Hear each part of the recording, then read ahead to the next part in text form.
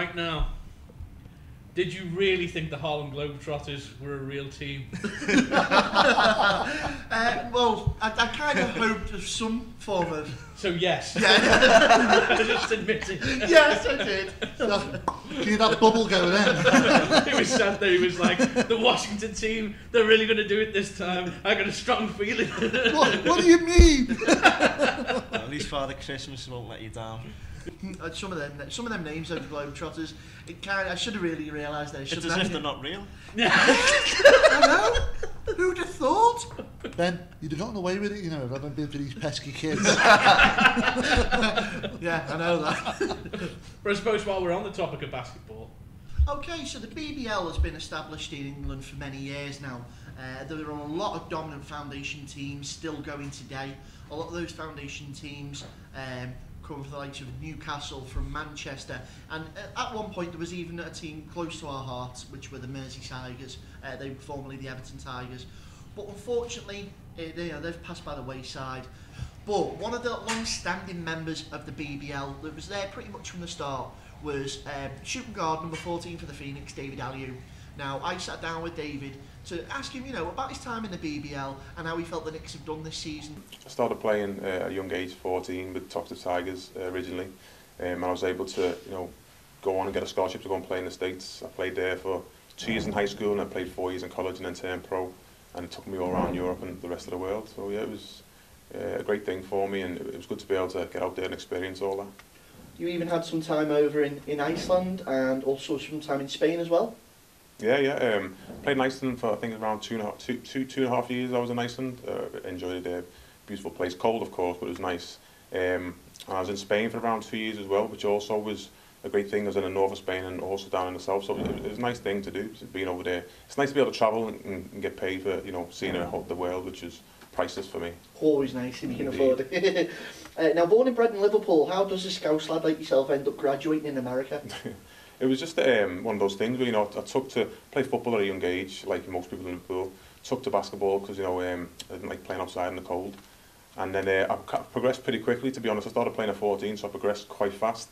I uh, started playing for England and started getting spotted by, you know, coaches from the States and different academies and stuff like that. And then got offered a scholarship to go over there and play. And then once uh, I went to the States, I think the age of 15, and it went from there. You know, I was able to secure a scholarship to a Division One college in uh, Kentucky. Played there for four years at a university called Morehead State. And then obviously from there turned professional. So I was fortunate, but to be fair, you know, I, put, I, did, I did put the work in. I, I put my mind to something, and that was what I was able to do. Because you know, when you're from a city like Liverpool, and nobody else has ever gone to to America from Liverpool and done that, you know, you're up against a lot. But you know, I was able to overcome that, thankfully. Now, how different is it playing at the American level, even at high school level and the Euro Leagues, compared to what you'd say the BBL? Just the uh, competitive nature. I mean, especially in the States, it's born and bred, you know, it, it's, it's instilled in, in the people. It's, it's a big basketball country. So, you know, the, the thing is over there, you know, facilities, you know, they've got probably the best facilities in the world. And, you know, obviously it's the size of America as well. So the competition you're playing, is there's never an easy night. You're always playing tough competition. And would you say the atmosphere is different over there? Yeah, yeah, totally. Especially because, like I say, it's, it's a basketball. The sport is big in the States, but it, it's a really big place for basketball. And so it, it's instilled in them. So it's almost like the way football is here for us. Say basketball is out there alongside American football and baseball. Well, you, picking up on that reference there between basketball and, and football over here, people say that, you know, uh, if an away team came to, say, Anfield or Old Trafford, it's an intimidating arena to play Yeah. at. Was there anywhere that you felt that sort of intimidates you or carried that presence with you in the basketball? Yeah, definitely. Um, throughout my college career, I, I went to a university called Moorhead State, and we, we played against the University of uh, Kentucky University, which at the time was the, the best university in the States. So, you know, you're playing in front of like 22, 23,000 people sold out. I mean, and uh, obviously Kentucky is a huge basketball state, so the actual noise and the atmosphere, it was a bit overwhelming, but it's experience at a young age made it easy for me going into the professional level. Now, do you feel that there's more accessibility for uh, kids nowadays um, to maybe progress and go further uh, than there was for yourself back then, or do you feel it was a better setup back then if you wanted to progress and become a higher level? No, I think there's definitely more opportunities now for the young ones coming through. You know, there's a lot of people like myself, you know, over the years who've who've gone through the system. You know, not so much the hard way, but have been able to, you know, get there. You know, by themselves or with help of one or two people. But now the way it seems, because that many people have gone over the, to the States and to Europe and played at a high level, they're able to, you know, bridge gaps and help the other youngsters coming through to get over there. So I think it's definitely a lot easier now and there's a lot more opportunities for the youngsters to go and do it. Now, it's fair to say you are a veteran of the BBL. Most noticeably, one of your highest accomplishments was the treble winning season with the Mersey Tigers back in the 2010-2011 season. How exciting was that for you? I mean, it's amazing. It's a dream come true for me because I've always wanted, from a young age, I always said I would love to have played in front of friends and family in Liverpool. I wish we had a professional basketball team. And just so happened that that opportunity arose and to be able to, to you know, to win the treble and be a part of that in my home city, it's like, for me, it was uh, one of the biggest accomplishments to be able to do that. Can you remember throughout that season at what point you suddenly went, hang on boys, we could actually do this here? Well, yeah, I mean, I knew we had a, a special group of guys because when you go and play for teams, you know, it, everybody doesn't always get on or mesh. You know, sometimes it takes a lot of time. But from day one, the team that we had along with the coach, um, everybody gelled and you know everybody had the same objectives. Everybody came in to try and make a statement that year and, and win something, improve a, few- a few points. And um, so you could tell from the very beginning that you know something was going to happen. And obviously we just made sure we put we put the effort in and the time, and that showed throughout the season. Now, it was an unfortunate, uh, shall we say, instance that the following season from that, that great win and the treble, that the Mersey Tigers had a, a really bad season and subsequently dropped out the BBL. Could you shine any light on that for us? Yeah, it just down. Due- it was due to a lot of changes. You know, throughout the course of oh, maybe two, three seasons, there was a lot of change going on behind the scenes, different new owners and different management and stuff like that. So I think the transition of uh, the, the change, I think it was just too great of a task for the, the new owners coming in to try and uphold, and it, it started to struggle. You know, going into midway through that second season as you was discussing then. So could you ever see maybe the uh, rebirth of the Mersey Tigers? Or I'd love it to be. I mean, it's not only you know not only for me because I'm from Liverpool, but just for all the youngsters in Liverpool, give them something to aspire to and you know and thrive for. I remember the very first game I played in Liverpool in the Echo Arena. It was like 7,000 people sold out. You know that that that for me was overwhelming, and all the young children there who, who gone to that, I still see years later and say, oh, I remember coming to watch you play in the Echo Arena. So I think it, it'd be great if it did because it gives them something to go and see and aspire to and they wouldn't have to go and travel outside their own city to see basketball at a high level. Um, I mean, I'm, I'm grateful for my time in UBL. You know, I, I came back to England from on, on the birth of my daughter and stopped playing in Europe, and I was just, I, I mean, fortunate enough to be able to continually play at, at a high level throughout these last couple of years, and hopefully I can continue for more. But um, the BBL, you know, from, from when I first came to to the States to now, I can see the steps it's going, and it, it is getting better year in year out. We just need to get some more advertisement and stuff, and get a few more things of that nature on board. Which leads me nicely to my next question. Do you feel that the, the BBL could be publicised more or get more media coverage? Or do you think, unfortunately, it may have had like a bit of a heyday? No, I mean, like I said, it is gradually. Like, I, I do see the, the improvements, you know, each year. But um, yeah, obviously it needs a lot more media coverage. It, it needs better, you know, uh, back end and stuff like that. And I think the infrastructure needs to be put in place for it to develop at, at, at, a, at the rate it should be and at the level it should be. Because for the talent that we've got in this country alone, we, we should be one of the, the better leagues in Europe. Would you say in the BBL at the moment there's a standout poster boy maybe to lead that? In terms of teams or... Well, maybe teams or a player individually? Well, no, I mean, when, when we talk of teams, you know, you just look at the teams that have had longevity and success. Newcastle, Leicester have been doing really well. You know, teams that have always um, been able to stay at that top level and maintain. Because, like you said, with the Mersey Tigers, we had a really great season, but then kind of uh, dwindled off after that. So maybe, you know, taking a look at the teams that have been there for a while and done it and maybe see where, you know, what they're doing and try and maybe rig it a bit to go on the same path as them. Now, this is your first season here at the Cheshire Phoenix. You did travel over from Manchester Giants. Uh, so coming from the, the Giants to the Knicks would be like kind of going from United to Liverpool. So how welcoming was he here? Uh, the fans here are great. I mean, I've always, every time I've played against Chester, even when I was with the, the Tigers or with the Giants, I've always had a really nice reception. You know, the, the Cheshire fans are really nice and uh, they've been warm and, you know, and it's, it's been a, it's been great to be a part of it, to be honest. You know, we get a great following on the road. To be honest, I, I think maybe besides Newcastle, I don't think anybody gets uh, an away following like we do at Cheshire. So I've been lucky in that sense and couldn't ask for better fans. And it's we're at a stage now where it's the end of pretty much the end of the season. Uh, so personally yourself, how do you feel it's gone? Um, I think, you know, it's, well, just taking a look back, just, just focusing on Cheshire, you know, as far as I'm aware, it's the best season they've had for, for a long time. So, you know, I think it's gone uh, well all in all. It's not over yet, so hopefully we can still win, uh, make a push and win the playoffs and end it um, on a high note. But no, I think it's gone well overall. You know, we're in, you know, we're pushing for third. We've made a top eight for the playoffs. Um, We've got a good chance of getting to the finals, so it's still right there, and I think we've had a really good season considering, you know, some of the changes that we've had to make throughout the course of the year. Now, notably, one of the changes there is head coach. Uh, head coach John Cofino came in at the start of the season, a couple of games in, obviously.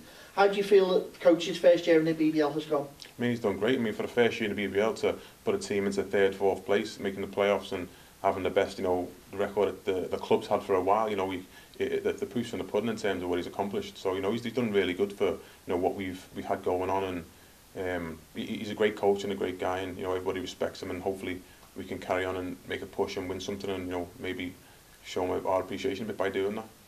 Um, I've always I've always been a big thing for youth development. I, I always like to give back to the you know the, the younger ones and help them on their path and maybe you know um, something to do like alongside with yourself. You know maybe on a, a sports panel something along that nature.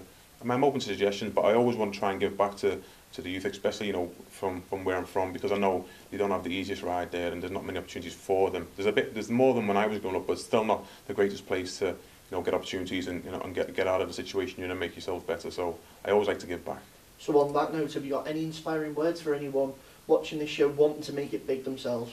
just don't um, just, just believe in yourself and put in the hard work because you know the work that you put in it's it's, it's going to pay off later on you know you might be tired sometimes or sometimes you have a lot of naysayers because I was always told that you know you're from Liverpool you, there's no way in the world you're going to be able to go to America and play basketball at that level. And that that drove me and motivated me to prove people wrong and I was able to do it. So just don't ever give up and put in the work because if you put in the work it does does reflect and it does show, show later on. And just carry yourself in the right kind of way. David, thanks for joining us today. thank you very much.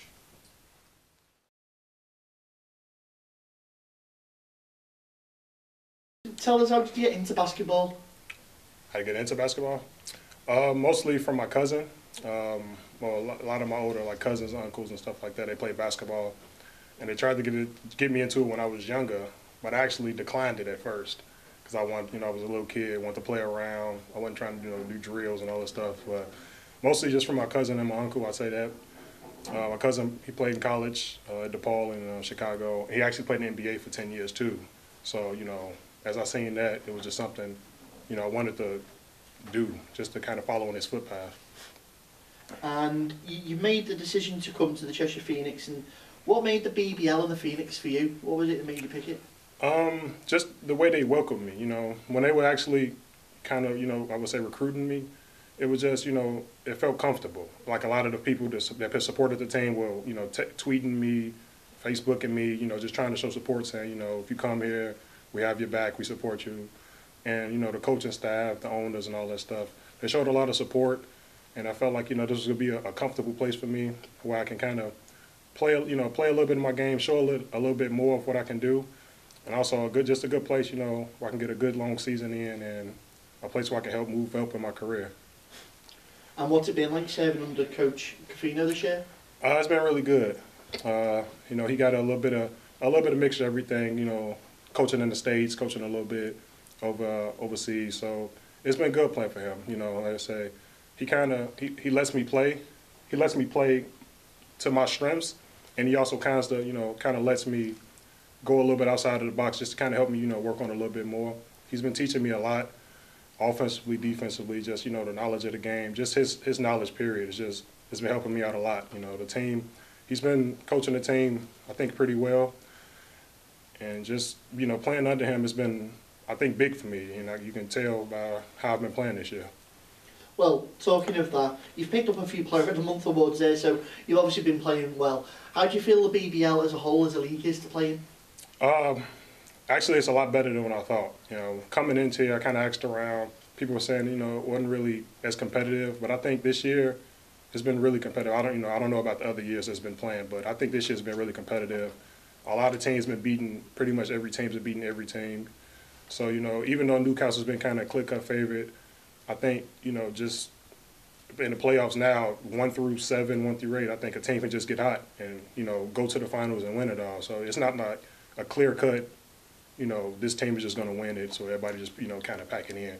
I think just how competitive it is and just everybody beating everybody. Everybody's coming in the playoffs with confidence and they feel they can win games. And have you got any inspiring words for the young viewers out there who want to take up basketball?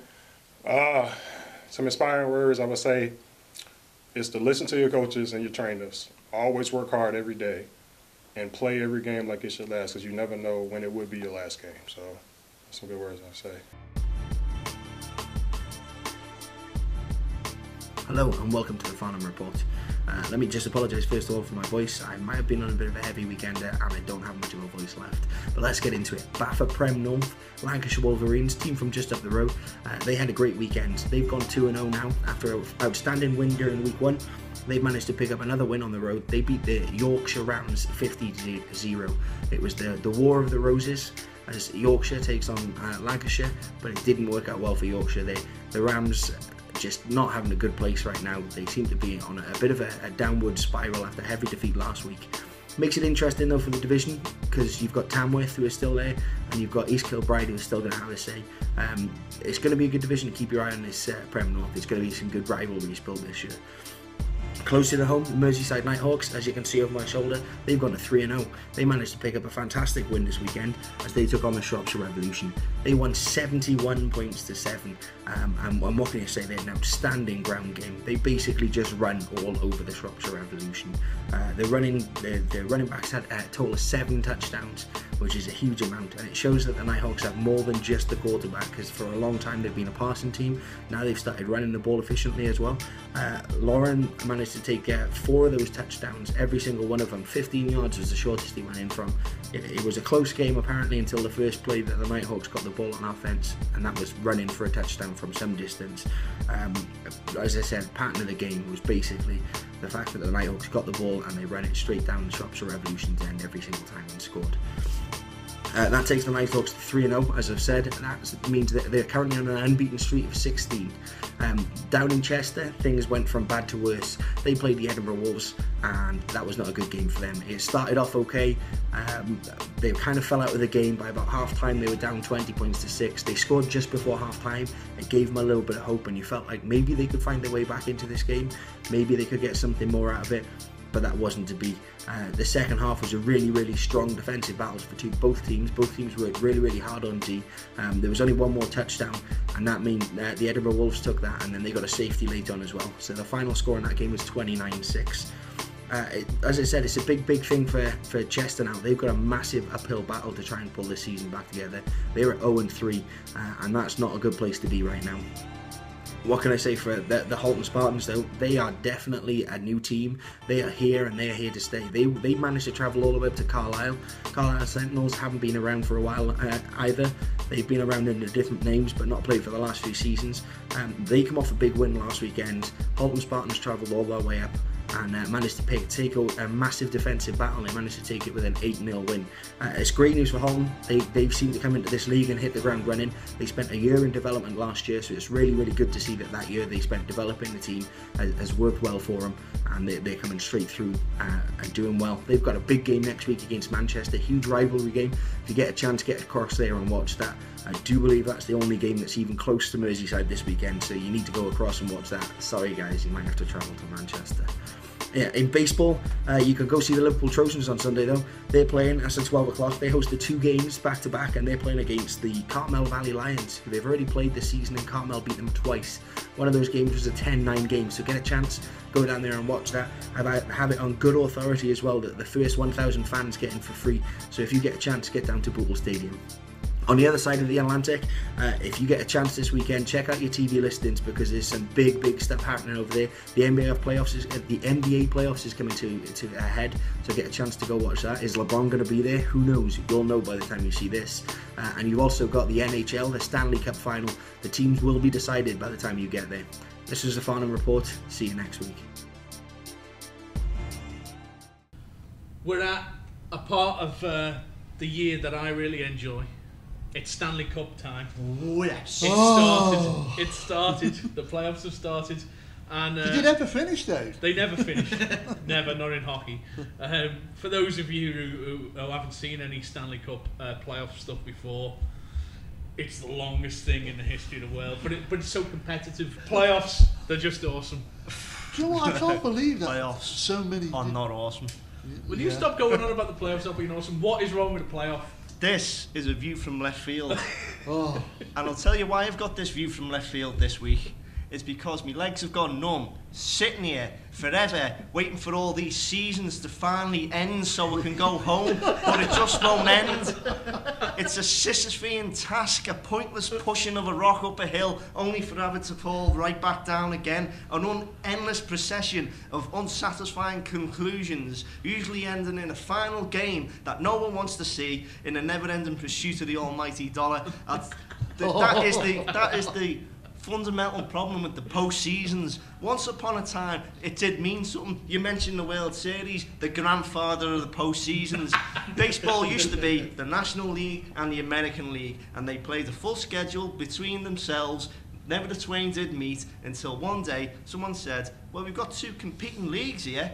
Why don't we see who the best team is? So the winner of League One played the winner of League Two, and they found out who the best team was and it was good. It was a game that meant something. You could say, legitimately, you were the champions of baseball. But that wasn't enough, because you know what? That game made money. Did you see the money that game made? If we had some more of these games, maybe we could make more money. And that's what sport's about. I've said it before on The View. Sport is about making money. That is its purpose, surely. Otherwise, we wouldn't be in it the way we are. So, well, this league structure's no good because that's only giving you two teams. Let's let's split these leagues up. We'll have divisions here and divisions there, and there'll be little mini leagues within the big league. And the winners of these little mini leagues, they can play some post-season games against each other.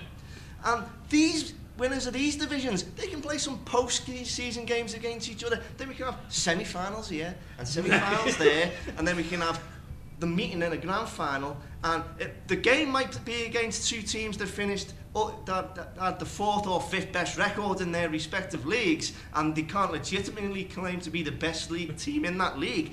But you know what? That doesn't matter because we've managed to grind this out over a series of months and we've made so much TV money and it's stopped being the entertaining sprint, the you know, the quick game to the with the fast, satisfying outcome of being the best that the fans used to crave. And we've got this endless, exhausting grind of the NHL playoffs, and the NHL playoffs will let anyone in as long as they finish halfway up their league.